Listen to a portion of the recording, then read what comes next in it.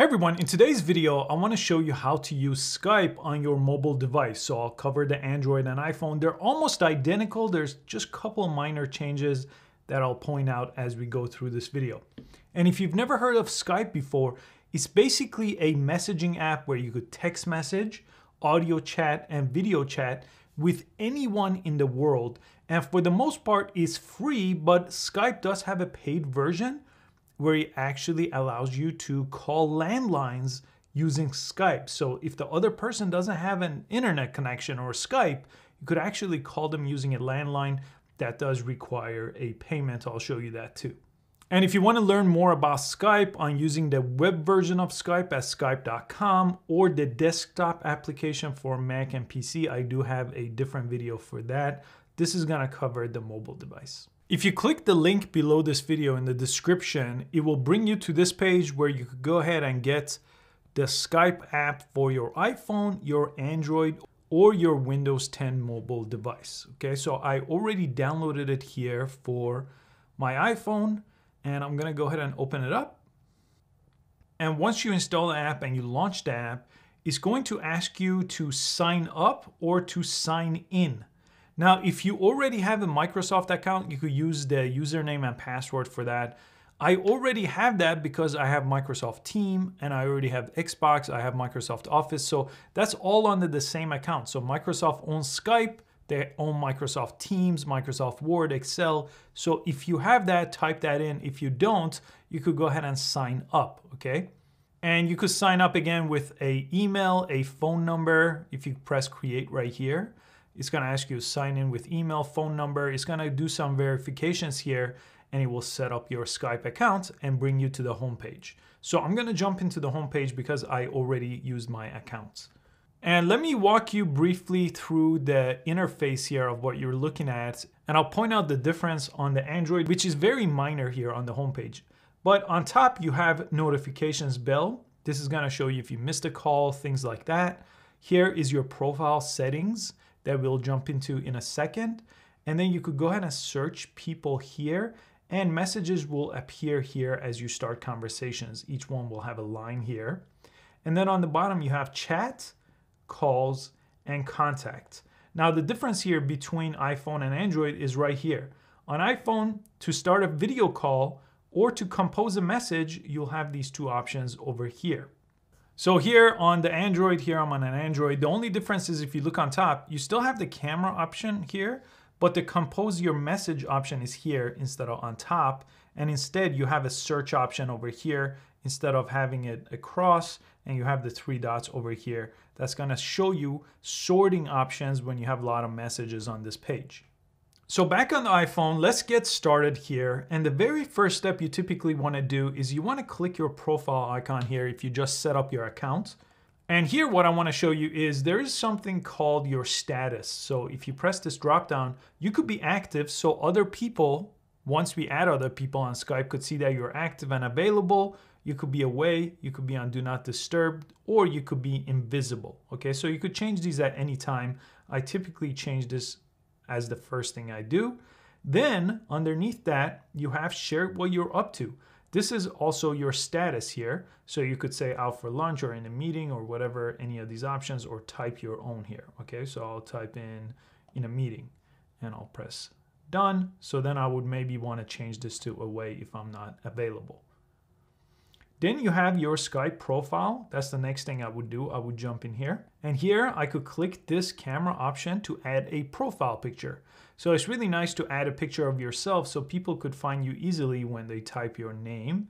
And then you have your Skype name. If you click over here, you could actually copy this and send it to people so they could find you easier. Although in most cases, they could use your name to try to find you when we do a search or try to search using your email address. Those are all going to come in handy when searching for people. We'll look at that next. Let's go back now. And back in the homepage here, I wanna show you the next step of connecting with people because right now I haven't synced any contact. I don't have anyone to connect with on Skype, which is the whole point of the app. So you can press sync contact here and it's gonna sync up everybody on your phone so you could easily find them or you could go to the contacts page right here, which is better. And here you could go ahead and search your contacts once you sync them up. Or you could press the profile option on top and add people individually here.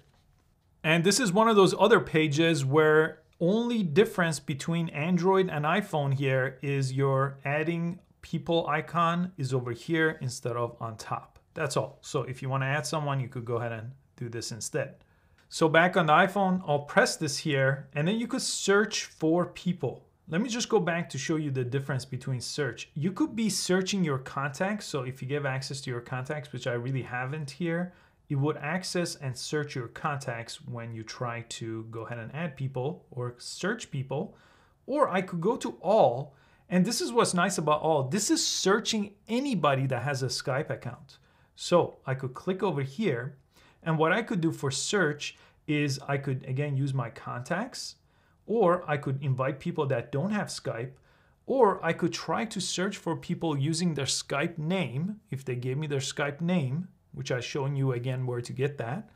Or I could search their actual first and last name, or I could try their phone number or email to see if they're on Skype, okay? So I'll try that here. I'll try someone's name, which is my other account. And once you press search, this I'm just searching my other account here and there I am. So I have a profile picture on that account. It shows my location here and shows my Skype handle here.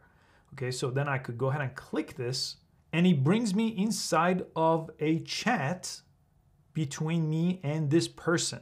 Okay, so this is your chat window. So let's go over this because this is where you could send text messages. This is where you could send audio and pictures and you could start a video or audio call up here. Okay, so I could send text just like this. This is gonna send an emoji right here. I could click here and type out my message instead. Okay, so I send a text message. I could give it access to my camera and take a picture here, or I could press the plus sign and send media, share a contact, my location, or schedule a call for later. Okay, all of that is available over here under that when you do invite someone, they do have to accept you. You can't just start a conversation. So when I send a message to this person, they do have to press accept so they could reply to me. Now, they don't have to be using the mobile version though. They could be on the computer, for example, or on skype.com and they would still get this, okay? So just to show you, I just jumped on the computer where that invite came in. You see, I have to press accept. This is the other account now on the computer if it happened on the phone too, they would have to press accept here and then they would get that message and I could respond back. Okay, so I'll respond and then I will get this message. So you could see that over here, back to the phone. Okay, so I'm just showing you both of the accounts on both sides so you could get a good idea what they look like. Now, what's really important here is these two options over here to make a video call or a phone call. Now, I'll explain to you in a second when you make a phone call that requires a paid option. That's because if you call someone that doesn't have Skype, you could call their mobile number or their house number, a landline in different countries, and that does require a price, but that's in a different page. Right here, I'm just making a free video or audio call between two different people, or even a group, for example, would be the same way, that all are using Skype. I'm using a Wi-Fi internet connection here to do that. So it's going to be a free video and audio call. So to create a video call, I'm gonna press this right here. So here on the mobile view here, this is what I'm looking at. So I see the other person's profile picture, I see myself up here, and what I could do, if I click in the bottom right here, I could mute myself. I could go ahead and turn off my camera right here. So it would just show my profile picture, which I haven't added yet. And I could hang up the call. Also, let me just show you some more advanced options here with the three dots. You could press these three dots over here. You could allow incoming calls, so other calls could be merged on this call, making a group call. You could turn on subtitles, so everything you're saying is going to get transcribed in text. This is kind of useful. And you could add people here again.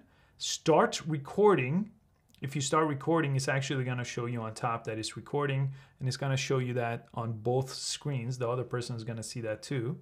So actually, let me stop the recording here. I'll just stop it. You could take a snapshot and you could even share your screen. This is going to share your mobile screen with that other person. This is really, really useful too. But in this case, I want to click over here, and as long as this is turned off, the video is technically an audio call now. But let me go ahead and hang up on this call. And if I made a phone call instead, you could see I could call for free. Okay, this is letting me call for free between two different Skypes. Or this is my phone number that I connected here. It's gonna let me use my phone number to connect and then I could call a different phone number with that. Okay, so I wouldn't call someone on Skype. I could use the Skype app to use my phone number here and use the Skype credits to call someone maybe in a different country. I'll explain that in a second there. And you can see the recording becomes available here where I could go ahead and press play. It says recording is available for 30 days. And I do have a premium version of Skype here because I have it with my Microsoft 365 account. So some of those options are part of the premium options if you don't see it on yours. Let's go back to the home page here. And you can see now I have two different contacts, the one that was there before and the one I've added here. Anytime, remember, you could go to contacts or you could press this option or you could search and add more people here. If you do sync it to your contact, everybody that has Skype will show up over here. Now let's go back to the chat icon and you can see as you make calls and you start chats and you do video and audio calls, they all appear over here. So this is gonna get filled up pretty quick as you start going through and making lines, they will all show up. And remember when I showed you on top where you could click this and change from active to away? You see this little green icon over here? This is showing that I'm actually available. When you're away, it turns orange. So this is really handy to look for over here. Anytime you could slide on these, by the way, and you could call that person from here or press the more option and you could hide this conversation or deleting conversation right here. Let me delete this one and it's going to make it completely disappear from this page. There you go, back to how we started. Now under calls, let me go over here and I wanna show you under calls what ends up happening is you could actually connect and call anyone on Skype for free or if they don't have Skype, using your mobile number and calling mobile and landlines. So that's what you will see this option right here. It says get credit. Let me click on it. And you could see you could buy Skype credits. So it will use your credit to make those calls.